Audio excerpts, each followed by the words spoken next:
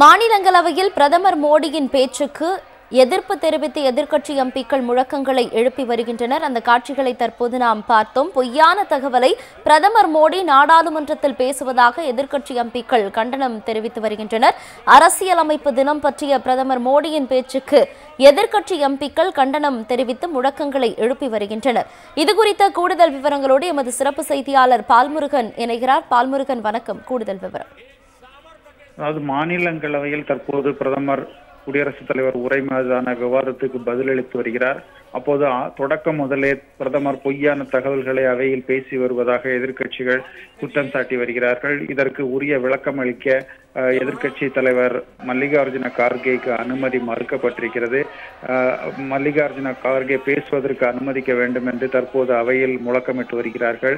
அரசியல் சாசன தினம் குறித்தும் தொடர்ந்து தேர்தல் குறித்தும் பிரதமர் தெரிவித்த கருத்துக்கள் வந்து உண்மைக்கு புறம்பானவை என்று எதிர்கட்சிகள் எதிர்க்கட்சிகள் தற்போது எதிர்ப்பு தெரிவித்து வருகிறார்கள். பிரதமர் தன்னுடைய பேச்சில் தொடர்ந்து பொய்யான தகவல்களையே தெரிவித்து வருவதாக எதிர்க்கட்சிகள் ஒட்டுமொத்தமாக புகார் தெரிவித்து தற்போது முழக்கமிட்டு வருகிறார்கள்.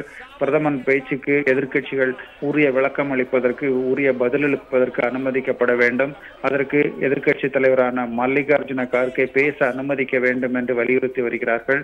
மல்லிகார்ஜுன கார்கே எழுந்து தனக்கு பேச அனுமதி கோரியும் அனுமதி மறுக்கப்பட்டிருக்கிறது.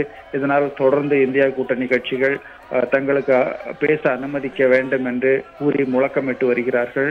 பிரதமருடைய பேச்சுக்கு எதிர்ப்பு தெரிவித்து தற்போது முழக்கமிட்டு வருகிறார்கள் உமேரா தகவல்களுக்கு நன்றி பால்முருகன் गरीबी के खिलाफ गरीबों की लड़ाई और मैं मानता हूं गरीब किसान क्रेडिट कार्ड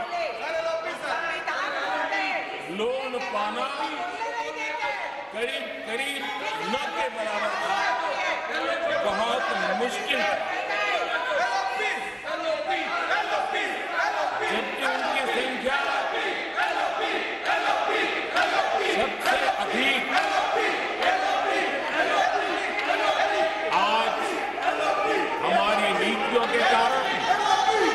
किसान क्रेडिट कार्ड के विस्तार के कारण आदरणीय सभापति हमने किसानी को एक व्यापक स्वरूप में देखा और उस व्यापक स्वरूप में हमने किसान क्रेडिट कार्ड, पशुपालकों और मछुआरों को किसान क्रेडिट कार्ड का हमने लाभ मुहैया कराया है और इसके कारण हमारे किसानों का खेती के काम को उसके विस्तार को भी मजबूती दी है उस दिशा में भी हमने काम किया आदरणीय सभापति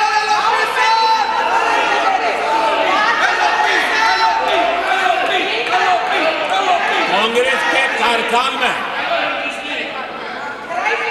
दस साल में एक बार किसानों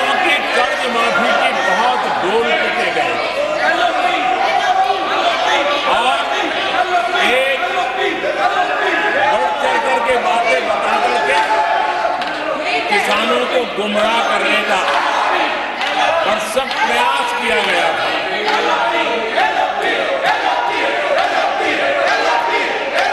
और सात हज़ार करोड़ की कर्ज माफ़ी। उसका इतना हल्ला मचाया, इतना हल्ला मचाया था। और एक अनुमान था उसके लाभार्थी करीब देश के तीन करोड़ किसान थे। सामान्य गरीब किसान।